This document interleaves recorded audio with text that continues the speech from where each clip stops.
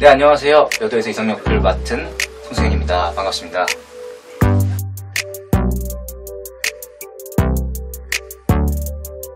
네, 일단 여도는요 명품 사극이고요 명품 추리 사극 아닙니다 여러분 여기 광증인 이성이 사랑하는 여인과 사랑하는 어머니 그리고 아버지와 그리고 단종과 태조의 대립을 네, 그 사이에서 엄청난 아픔을 가져가는 캐릭터인데요 네, 여러분들이 관객 속에서 보시면 아마 재미가 많이 있으실 것 같습니다 왜냐면은 이성은 백령기도 하거든요 객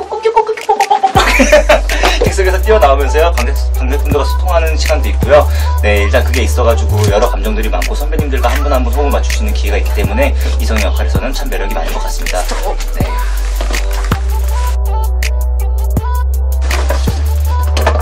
네, 저는 저소득가정 보시나요? 네, 생리대를 기부하도록 하겠습니다. 네, 저소득가정 여러분들 생리대 받으시고요. 네, 제가 저희가 조금이라도 가정에 힘이 됐으면 좋겠습니다. 네, 지금까지 여도에서 이성 역할을 맡은 송승현이었습니다. 감사합니다.